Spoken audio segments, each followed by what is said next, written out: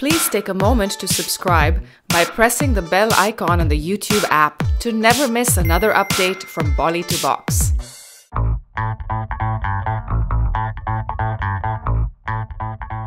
Film Bharat से प्रियंका चोपड़ा की sudden और अनसेरेमोनियस एग्जिट ने सभी को हैरान कर दिया और कई लोग अब इस फ़िल्म के फ्यूचर को लेकर भी स्केप्टिकल थे, क्योंकि शूटिंग शुरू होने के पाँच दिन पहले ही फ़िल्म ने इतना बड़ा रोड ब्लॉक फेस किया मगर ये सेटबैक फ़िल्म के लिए एक ब्लेसिंग थी और इसके बाद ही कटरीना कैफ इस फ़िल्म की लीडिंग लेडी बन गई ऐसे में कई लोग कैट को पीसी का सब्सटीट्यूट कहने लगे।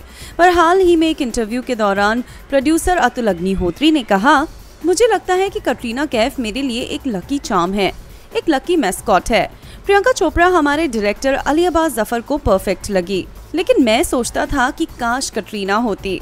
अतुल के स्टेटमेंट से तो ये क्लियर हो गया कि कैट को सब्सटीट्यूट नहीं, बल्कि खुद प्रोड्यूसर्स की पहली चॉइस थी।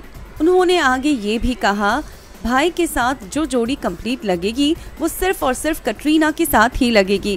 वेल अतुल अग्निहोत्री की इस बात से आप कितने सहमत हैं, ये नीचे दिए कमेंट सेक्शन में हमें ज़रूर बताएँ।